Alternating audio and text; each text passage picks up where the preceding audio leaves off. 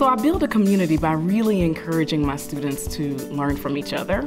So we take a daily walk where we get to talk about anything that we want to talk about. Really? I never tried that. And that is really important for them to learn from each other in order to really appreciate each other as people and to build that community. I actually like math. You like it this year. Good.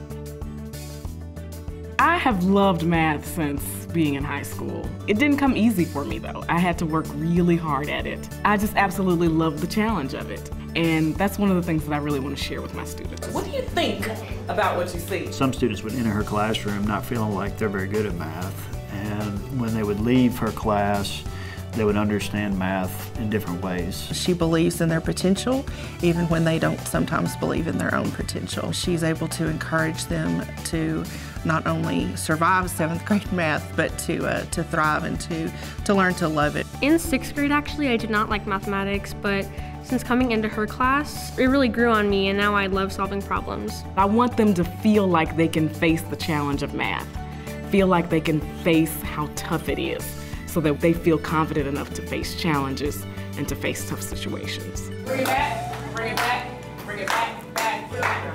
All right, y'all listen up. Cicely creates a learning environment that is very student focused, student driven. She really makes it practical. She gives them real world application. Miss Woodard's class is just a phenomenal classroom because she does hands-on activities with us. Do you think there may be a correlation between your height and the circumference of your head? I think that my methods in class are different because they're very engaging. They get students involved right away. Aiden's shaking his head no. Why not? That my students sit at tables in groups and they often talk with each other and work together. When students uh, are able to engage with learning through the use of hands-on materials or engaging with peers, it helps them to latch on to the learning. She makes it fun, she makes it relevant, and she makes it challenging. Uh, she makes me comfortable by encouraging us with her cheers. As a group, we will often do little cheers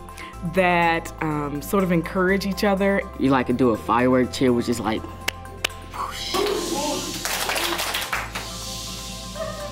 Good job. When a student is done presenting, you'll do, you got it.